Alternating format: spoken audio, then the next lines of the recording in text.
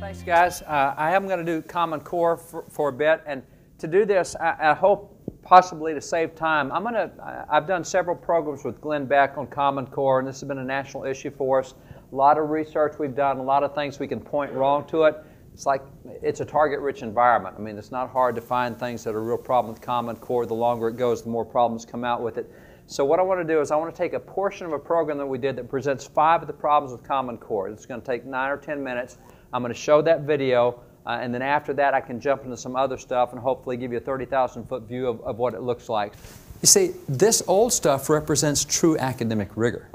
Education today is moving further and further away from it, and Common Core certainly seems to be contributing. And maybe part of the problem is the new teaching methods that are associated with teaching Common Core. Look at this clip from M.J. McDermott, a local television personality in Washington State. She's going to explain one of the crazy new ways that math is being taught there. Watch this. Another popular algorithm taught in everyday math is the lattice method. Same problem, 26 times 31. This time we have to set up a lattice. Works like this. We put the 26 on top, and the 31 along the side like that. And then we draw these diagonals. And then we do 1 times 6 and fill it in like that, 0, 6. 3 times 6, 18. 1 times 2, no effort to say 1 times 20 by the way, 0, 2. And 3 times 2, 0, 6. Now we add it up along the diagonal. 6. 8, 0 plus 2 is 10. Carry the 1. 6, 7, 8, time, and 0 is 8, and a 0 there. And the answer is read this way. There's your answer, 806. It's kind of fun. It works every time. But even the authors of Everyday Math admit in their teacher's manual why the lattice method works is not immediately obvious, but it is very efficient and powerful. The principal disadvantages of the algorithm are that it is unfamiliar to many adults, i.e., parents, and making the lattice takes time. Okay, so teaching this new lattice method of working problems is going to help student knowledge? I don't think so. But you see, this is one of the fundamental problems with progressives. It doesn't matter how well something is already working or how long it's been working well, they're always wanting change, they're always wanting to move forward or lean forward. And they want to leave the old things behind. You see, progressives are all about progress after all. They want to implement the new, even if the old works well and the new doesn't. And did you notice that MJ pointed out that parents will not know the lattice method? So parents won't even be able to help their own kids with math. And this is also part of what progressives do. They want everyone dependent on them. They, they want the kids to rely on government officials for their knowledge and help, not on their parents. But let's not stop with just using new and, and impossible teaching methods. Let's look at this clip from a recent educational conference and notice a statement that kids getting the right answer is not necessarily the overall objective of progressive math education. What's this? Even under the new Common Core, if, even if they said 3 times 4 was 11, if they were able to explain their reasoning and explain how they came up with their answer really in um, words and in oral explanations, and they showed it in the picture, but they just got the final number wrong, we're really more focusing on the how. The right answer doesn't really matter, just how you got it? Okay, now I understand. Uh, maybe she was trying to say that it was important for kids to know why things work. That is, to know the process behind getting the right answer. And uh, that's fine. All right, I buy that. But to say that in education under Common Core we're not going to focus on getting right answers, how about getting right answers and getting the process? You see, maybe this is why test scores dropped in Kentucky. Who knows? But in addition to all of these immediate problems, Common Core also presents serious problems for the future of the Republic.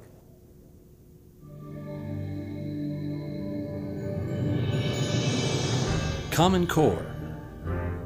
It's the new national educational initiative that not only weakens local and state controls of education, but also fundamentally changes what students will learn.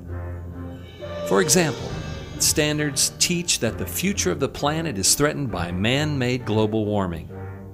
But there has been no global warming for almost two decades, and this despite the steadily rising atmospheric carbon dioxide that supposedly drives global warming. And we're also told that global warming's melting of the polar ice caps would cause sea rise and massive coastal flooding. Yet ice is actually expanding in Antarctica, which has 90% of the Earth's ice. And it even turns out that data was misrepresented by global warming alarmists to make recent temperatures look warmer than they've actually been and past temperatures look cooler. Yet none of these facts prevent Common Core from making man made global warming a fundamental part of its education standards. This is not education, it's political indoctrination. Just one more of the many reasons why Common Core is bad for students, bad for states, and bad for America. And here's another one on a different issue. Common Core. Maybe you've heard of it. It's the new national educational initiative that not only weakens local and state controls of education, but also fundamentally changes what students will learn. For example, under Common Core, cursive handwriting will no longer be taught. But that sounds reasonable.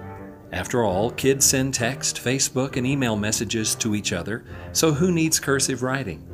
But this means that students will no longer be able to read the journals of George Washington, or the letters of John Adams, Thomas Jefferson, or James Madison, or for that matter, even the Constitution or the Declaration of Independence, which are written in cursive. In fact, students won't even be able to read the letters that their own grandparents or great grandparents may have written and saved for their family's heritage. Under Common Core, cursive writing will become a language as foreign to students as ancient Egyptian hieroglyphics.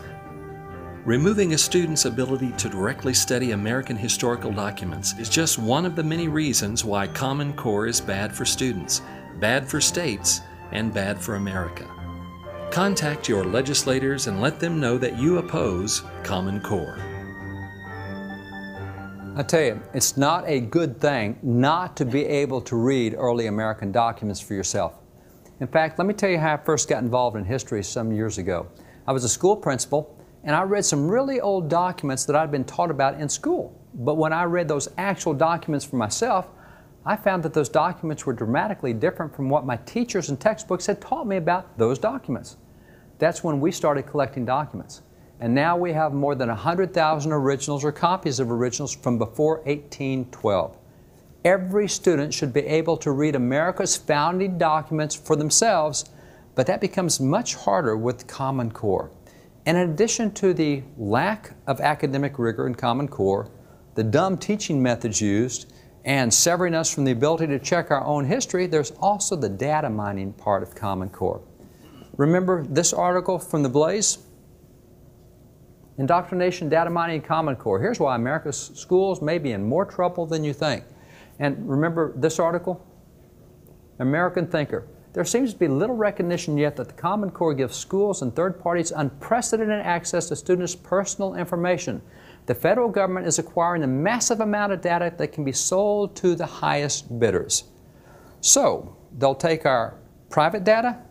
Well, that really shouldn't worry anyone. I mean, we trust the government to do the right thing with all that data they're going to collect from our kids about us. And, and if you want proof, you want proof they'll do the right thing? That's easy. Just think of how well the NSA and the IRS have protected and respected our personal data. I mean, so what's to worry? Okay, so maybe there is some history of the government agencies abusing our personal data, but remember, this data collected about us from our kids can be sold to private groups. And what's so bad about that? All you have to do is listen to what David Coleman has to say, and you can immediately see the problems and the dangers. David Coleman is the president of the College Board, and they're the ones who produce the SAT test for college bound students. Time magazine calls him, quote, the architect in education because, as they explain, his quiet work behind the scenes on the proposed Common Core standards makes him among the most influential figures in American education today. So, David Coleman, who definitely strongly supports Common Core, is going to give us an example of how private information can be used in sophisticated ways to advance progressive causes. Listen to this clip of him at a New York educational conference. Let's remember who really won the election. Shall we call it Nate Silver? Against all the blowhards of political commentary, the predictions of the nerds were decisive. But perhaps more exciting than the person who stood to the side and handicapped the election is the person who led the Obama campaign's use of data to galvanize a generation of low income people to vote like they had never had before. Whether you are Republican or Democrat, the simple precision and excellence of the use of information to achieve a result is something in my mind that deserves astonishment. It means again that there is no force greater. Think about it. Think about it. Hundreds of millions of dollars spent on this campaign. And what made the difference, right? A lot of things. But this incredible precision and insight gained from data, not only knowing where people are, but testing various interventions, seeing what works, keeping focused on delivering them. Um, that's not how I want my private information used. And I don't care whether it's for the Obama campaign or anybody else's campaign. Okay, that's 10 minutes. That's five issues. I can give you another 30 issues on Common Core. Um, there's no shortage of issues. Having said that, there's something that I want to do with, with, the other time that I have left here, and that is to try to take this thing to a 30,000 foot view if I can. Um, let me go back to this slide talking about Common Core, the problem we've got with Common Core is, in, a lot of ways, um, we're literally trying to put lipstick on a pig. Um, we've got bigger problems of what Common Core represents, and there's some fundamental problems with education, and we're just playing around the edges. I mean, we literally are a dog chasing our tail when it comes to education. We've forgotten what education is for. We've forgotten how bad we are with it. Uh, if you if you want to know even how bad it is now, you look at ISI, the Intercollegiate Studies Institute. These are the folks that every year they test Americans to see if they know enough to be citizens. They, they start with the assumption that, you know, if you live in the South Pole, you've never heard of America in your life, and you move here, you have to pass an immigrant's entry test to get here. There's a minimum amount of knowledge you have to know to be an American citizen. So they took 13 questions off the test and gave those 13 easiest questions to citizens who have lived here their whole life giving them to citizens who have lived here their whole life. 71% of citizens didn't know enough to be a citizen, and they've lived here their whole life. That's after 13 years of school at $12,000 a year that we're spending. We're looking at $120,000, and we don't, matter of fact, it's really bad. For the first time, they gave that, that test to elected officials. 13 easy questions of them. 78% of elected officials didn't know enough to be citizens. 62% could not name the three branches of government. Now, how, how do you go through 13 years of school and you can't name the three branches of government? See, that's why Common Core, with, with all the problems Common Core's got, we're, we're looking at, at, you know, literally trying to polish the, the rails of the Titanic as it goes down. So what I want to do is, in this time, I want to take you back and give you something bigger, and then we'll come back and look at Common Core. George Mason, founding father, he was part of the 55 who wrote the Constitution, the Constitutional Convention. Uh, he literally is called the father of the Bill of Rights. He's the guy responsible for the Bill of Rights. He made a statement so profound that it was written in the Virginia Constitution in 1776. It is still there to this day. It's a great statement. He says this He said, No free government nor the blessings of liberty can be, be preserved to any people but by a frequent recurrence to fundamental principles. This frequent recurrence to fundamental principles, I want to go back to why we even did education in the first place. Because if you don't get that right, the rest of it doesn't make sense. What we have been blessed with in this country under the form of education we used was when you look at us with other, and this year there's 195 nations at the UN, you compare us to any other nation in the same period of time, we've had one form of government. You take any other nation, and it's, uh, it's unbelievable. I mean, imagine living in other nations that have had this many revolutions, this many turnovers, just in the 20th century. I mean, uh, imagine being Poland. I mean, seven revolutions since 1919, seven constitutions what we have is unprecedented, but we're so used to it, we don't think of how unusual it is. Nobody else enjoys the stability we have. In the same way, if you look at the prosperity that we have in America, we are only 4% of the world's population, and yet we produce 24% of the world's gross domestic product. Nobody has productivity like that. Everybody else is, you know, even if they're 4% producing 4%, that's pretty good for the rest of the world. We're way ahead. Now, this is called American Exceptionalism. That title was given us in 1831 by Alexis de Tocqueville, who traveled to America, surveyed what we had, and said, This is exceptional. I don't think any nation will ever attain what America has. Here's the cool part about it this is what Abraham Lincoln said a century later. Abraham Lincoln, in looking at our philosophy of government, said this. He said, The philosophy of the schoolroom in one generation be the philosophy of government in the next. If we had a successful philosophy of government for two, two centuries, it's because of what we were teaching in the classroom. Now, you look where we are now, tell me what the prospect is for government in 20, 30 years from now when we're turning out kids that can't even name three branches of government, actually turning out public officials that can't name the three branches of government. So we're, we're, you know, again, I can point out the Common Core, the data mining is really bad, and what they're doing with the teaching methods really bad. If we don't get back to bigger stuff than that, we're, we're again just playing around the edges. So let me take you some bigger stuff. When you look at the philosophy of early American education, did two things. Number one, the philosophy of early American education was to teach religion, morality, and knowledge in that order. That is in the federal statutes. And by the way, that's a statute under which uh, Iowa became a state. You had to agree to that order in teaching in your schools. The second thing we did was we insisted on teaching thinking skills. Now, I'm going to show you why this is different from what we do today. But you take these two things, take teaching religion, morality, and knowledge. In 1789, after we had the first federal Congress under the Constitution, they passed a law because they said, We've got these 13 states here, but what do we do with all the Northwest Territory and the Ohio Territory? What do we do with the, the Southern Territory?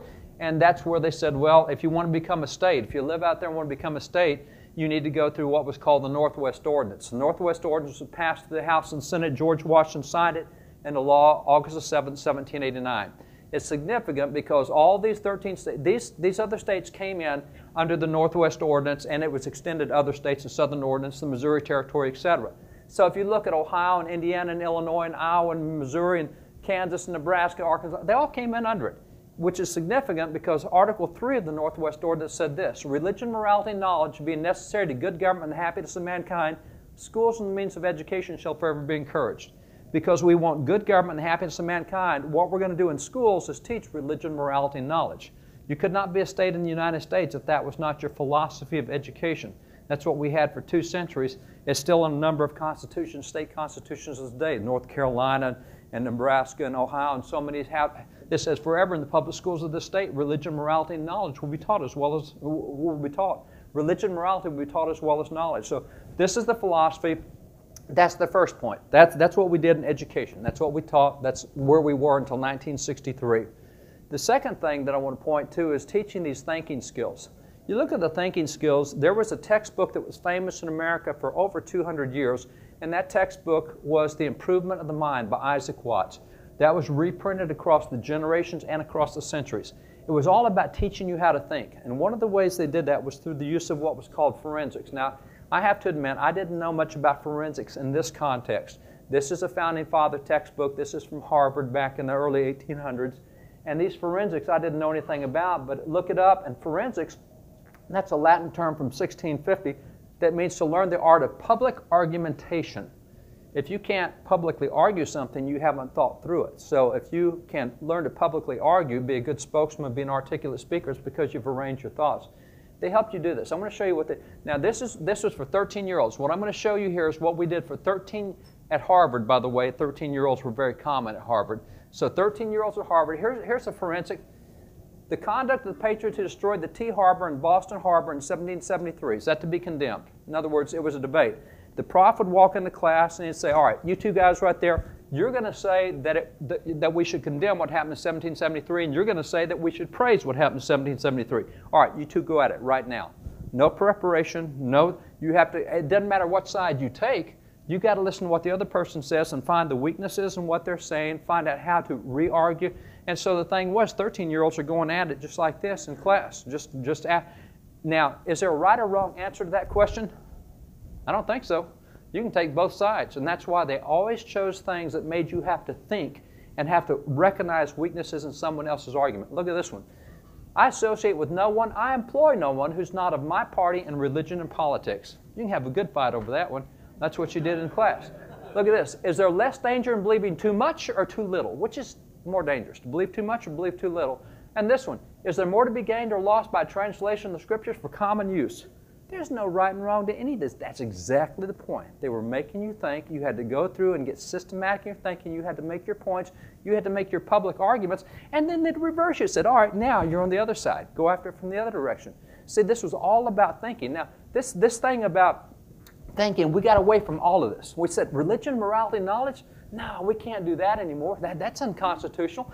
And, and so the Supreme Court, in June the 25th of 62, said, no more school prayer, no more Bible reading. It all goes out. We're not doing religion, morality, and knowledge anymore.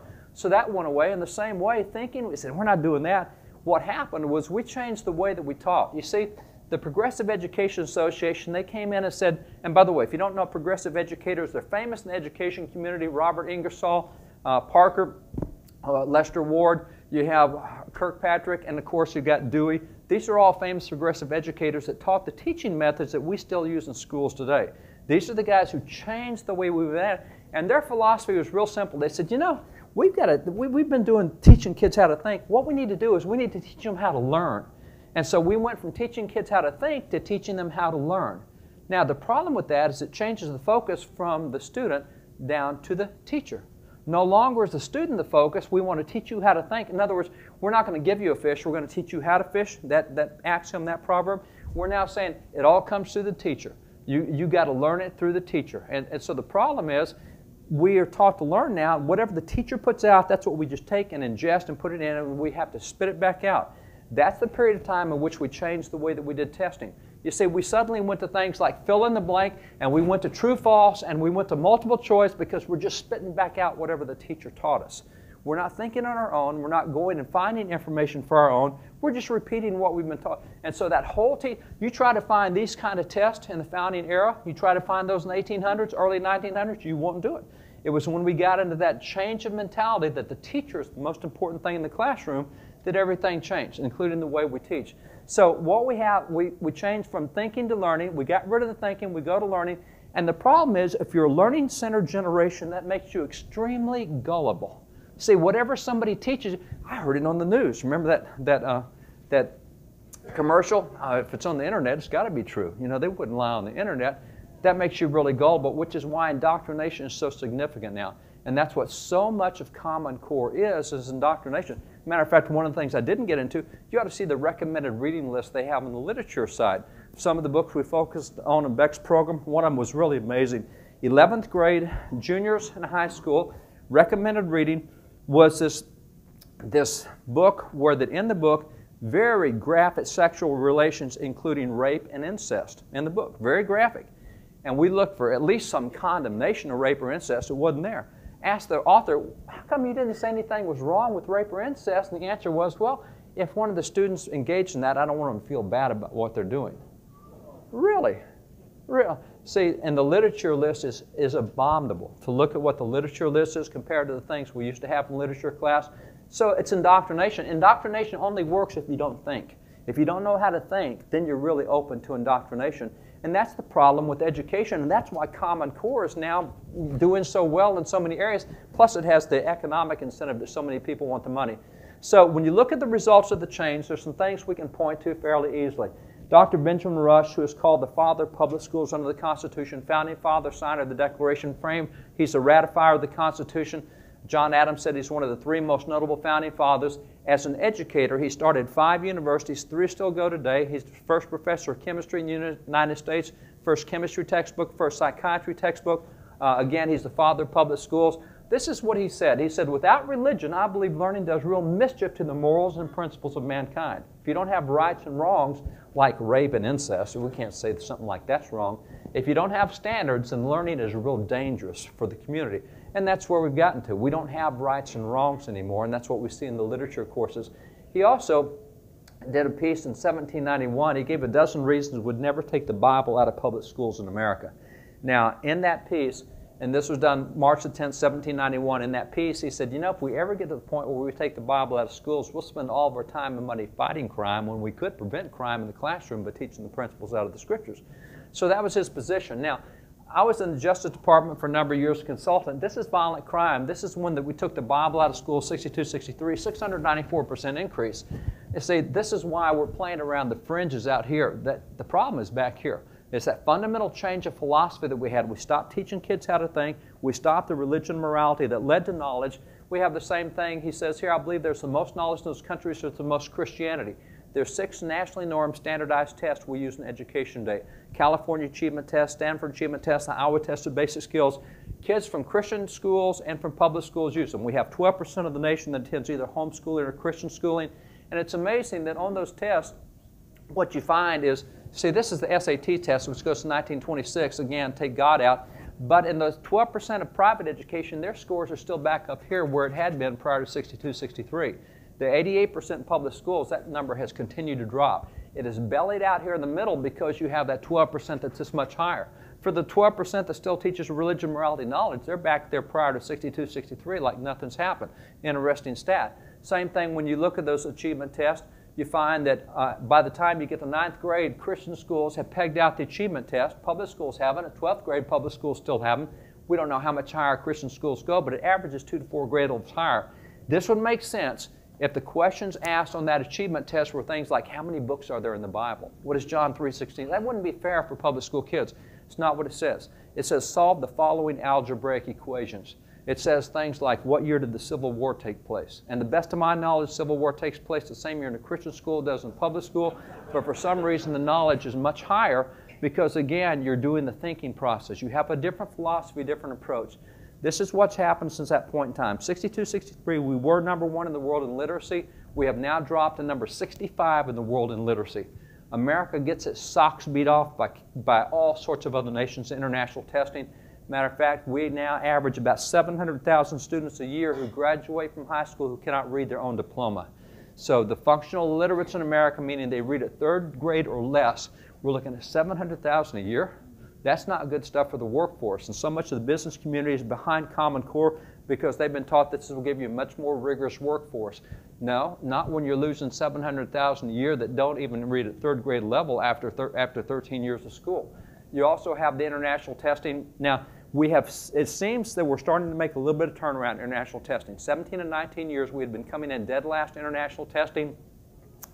We, in elementary school and recent one, our kids finally finished above average with the world's kids. Uh, at junior high, they finished at average, and at high school, they finished below average. Now, please notice the trend here. If you've had a few years in American education, you're above average. You had a few more years, you're at average, and a few more years, you're below average. The longer you spend, that's not good. That's why the, the American School Board Journal, this 16,000 school boards in America, the School Board Journal goes to those, and this is what they said. The longer U.S. students stay in school, the less they seem to know. Yeah, exactly. That's a fundamental problem we have with the way we do the whole philosophy of education right now. Excuse me. This University of Connecticut, they spent a lot of money recently to come out with what they called the coming crisis in leadership because what they did was they took kids going in as freshmen to what we would call the elite colleges, universities, Ivy League schools, etc., where you're going to spend $200,000 for your diploma. They checked those kids going in as a freshman, they checked them going out as a senior, and found that when you went out as a senior four years later, you knew less than when you came in as a freshman. This is what they said. At many of the most prestigious colleges in the United States, seniors seem to know less than freshmen about America's history, government, foreign affairs, and economy, a phenomenon known as negative learning. You're spending $200,000 to get less knowledge than you had when you got there. That's not the right direction. Now, what I want to do is take you back and kind of close out this section by showing you the way it used to be. We used to teach religion, morality, knowledge. We trained students to think what was the result of that. Let me take you to founding fathers like Fisher Ames. Fisher Ames is the framer of the Bill of Rights. He's the guy who actually gave us the House language for the First Amendment. That's what everybody says means separation church and state done. Fisher Ames passed the entrance exam to Harvard University at 12 years old. Now, people think that's really impressive today because to get into any university in America back then, Harvard, Dartmouth, uh, whether it was Dickinson, whether it was William and Mary, whether it was Princeton, didn't matter. Everybody took the same entrance exam, and that was you had to be trilingual. You had to show that you're fluent in Latin and Greek and English. Latin because everybody read all the classics. You read Homer, you read Cicero, you read Plutarch. Uh, English is obvious. Why Greek? Because every freshman in their freshman year was given a Greek copy of the New Testament and had to make a translation of the Greek New Testament into English. On average, you did that when you were 13 years old. That's when you went to university in America back then. He was 12 years old. He's just a little smarter than his peers. You do have people like Benjamin Rush. He's called the father of American medicine. He came up with medical discoveries 200 years ago we still use today. He was 14 years old when he graduated from Princeton. I don't know how comfortable you are going to a 14 year old physician. Probably not many people today are. That's previous generations. You have John Trumbull. He's a justice on the Supreme Court of Connecticut, great literary figure. If you're an advanced placement AP lit, you'll read his stuff. When he was four years old, he finished reading the King James Bible through from cover to cover for the first time. When he was six years old, he beat his minister in a Greek contest. When he was seven and a half years old, he passed the entrance exam to Yale University. Now, his parents held him out because they said, everybody else goes when they're 13, you go when you're 13. And he did. By the way, John Witherspoon, signer of the Declaration, he also finished reading the Bible through cover to cover, four years old. First time he read through the Bible cover to cover, four years old. Very common back then. You take someone like James Iredell, ratifier of the Constitution put on the U.S. Supreme Court by George Washington. James Iredell, 17 years old, was the chief financial officer in his area of North Carolina, ran all the public finances for the entire state of North Carolina. Uh, you have you have Andrew Jackson. When he was 13 years old, he was already a prisoner of war in the American Revolution as a soldier. Was fighting the prisoner as a prisoner of war against the British. Maria Mitchell, the first woman in America to discover a comet. Uh, she was really into science. She actually set up an observatory to train women in science. Uh, and that was the big thing that she did. Matter of fact, this is her famous telescope that you can still. Maria Mitchell, look at this. Now, science. 11 years old, she's a teaching assistant in astronomy. At 12 years old, she calculated the time of forthcoming solar eclipse all by longhand. No computers, no nothing. She just figured it out by the, the, circ, by the circular motion of the planet. She figured out when the next eclipse would be. 17 years old, she's running her own school in math and science. How come we could do stuff like that back then and it's nearly impossible to do that now? Because we've gone from teaching kids how to think to teaching them how to learn.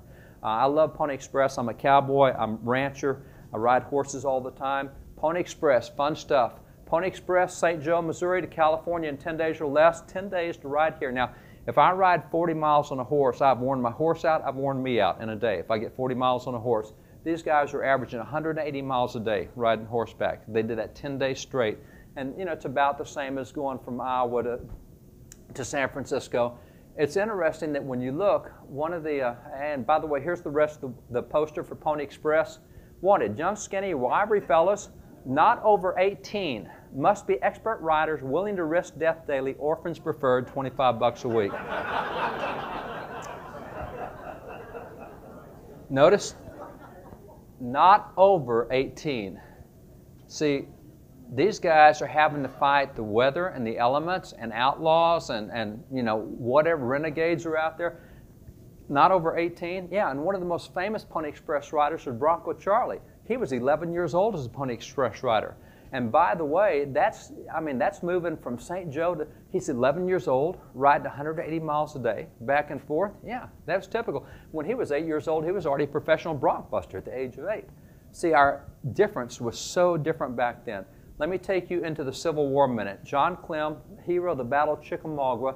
He's from, Illinois, he's from uh, Indiana. The Indiana newspapers carry the news of their heroes, and this happens to be in the Indiana Register, February 10, 1864. This is what they tell you. John, little John Clem, in the Army of the Cumberland, promoted for bravery by General Rosecrans to sergeancy, has been further promoted by General Thomas to a lieutenancy and placed on the staff. So for bravery on the battlefield, he is made private to sergeant, and then the next general comes along and says, no, no, no, you're too important. I need you on my staff. I'm making you lieutenant. Interesting thing, he's but 12 years old. This is the picture of him. That is Lieutenant John Clem lieutenant. Now, he's a sergeant there. He got promoted to, to lieutenant. 12 years old? Would never think of doing that today. Our expectations are so lousy on what we expect from young people. We don't have the high expectations. So that's what we had back then was high expectations. We do not have that today. Uh, we teach kids today, government standpoint, kids, if you can graduate from school, maybe when you're 25, if you're a taxpayer and don't kill someone, you'll be a perfect citizen. That's all we expect from them. That's, that's the objectives we give them you look at what we had back then. So I'm going to close out this part by showing you some old school books. This is the elementary, see that elementary spelling book? See that? That's from 1782 to 1932. You learn to spell out of Webster's Blueback Speller, 150 years. Here's your elementary spelling words. You can give these a shot if you want to. For 120, 150 years, this is what every kid learned to spell using these words right here. I can't pronounce a lot of them. I don't know what several of them mean, but I do know that that's what we use for elementary spelling for 150 years. Kids are quite capable of that. We've just screwed up our philosophy of education. You have the same thing with geography. How about a little fourth grade geography test here? This is from Chicago. You see Chicago, March 27, 1782. You got 35 minutes in this test. How many degrees of longitude are there? How many degrees wide are the temperate zones? Name the principal animals of the frigid zone. What portion of people in the globe are pagan? What portion Christians? Fourth grade. That's fourth grade public school, 1862. And here's arithmetic, 1862. This is elementary math. These are elementary problems before the sixth grade. Right here. Take this one. I insured two thirds of a shop worth $3,600 and four fifths of a house worth $6,000, paying $126. What was the rate of insurance? Anybody want to take that one on? That's basic pre sixth grade math for every public school kid in America prior to 1960, or you saw 1960, 1862. This one. How many $50 shares at 8% discount must be given for 23 bonds, $100 each at 2% premium? Every elementary kid in America could work that problem. Then this one is fun. These are all what are called mental math. All of these math books, you have to solve the problems in your head. You're not allowed to use pen and paper. Show you some math problems from 1877. Mental math, try this one. A boat worth $864, of which one eighth belonged to A, one fourth to B, the rest to C was lost. What loss did each sustain it having been insured for 500 bucks? Solve that in your head. That's mental math. And again, this is sixth grade. This is sixth grade math. one more here. If six men can do a piece of work in five days, in what time can they do it if they receive the assistance of three additional men when the work is half complete?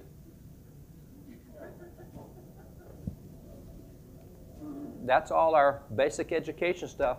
The scripture says the fear of the Lord is the beginning of knowledge. We were a whole lot smarter when we used religion, morality, and knowledge as the basis of education. There's no question about it. It's academically provable. We can show it statistically even today. We compare that 12% to the 88%, nowhere close.